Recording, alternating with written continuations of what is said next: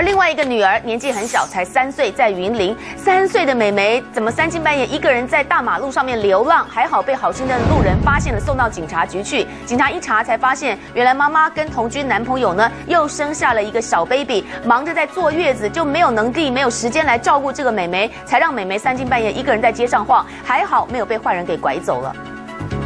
凌晨大半夜，三岁的女童独自在大街上流浪。要不是路人发现的早，赶紧带她上警局，真不知道会发生什么危险。让远警很紧张，赶紧抱女童回到被发现的地方，要找回爸爸妈妈。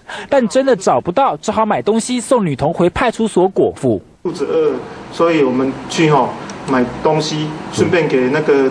附近的民众指认，小女童拿起面包吃得津津有味，看来肚子已经饿了很久了。看看女童如此可爱的笑容，大人们怎么会疏于照顾呢？就是唔知讲伊在对嘛？对啊，哎呀呀，啊，就是多。啊，我透早半暝出来，那会知？哎呀，好不容易终于找到女童的母亲，妈妈因为和同居人生下另一个孩子，忙着坐月子，但同居的男友不想照顾女童，才会让女童大半夜一个人独自在外流浪。结果那个小妹妹。就没有办法表达，但是我们有看她的身上穿的衣物及她身体的状况，她全身没有病痛，而且哈那个衣物衣物都有换洗，所以是研判说这个小朋友不是弃弃儿。粗心的妈妈也很自责，而大半夜逛大街的女童还有被人发现的早，没有发生任何意外。中央新闻张代锦云林报道。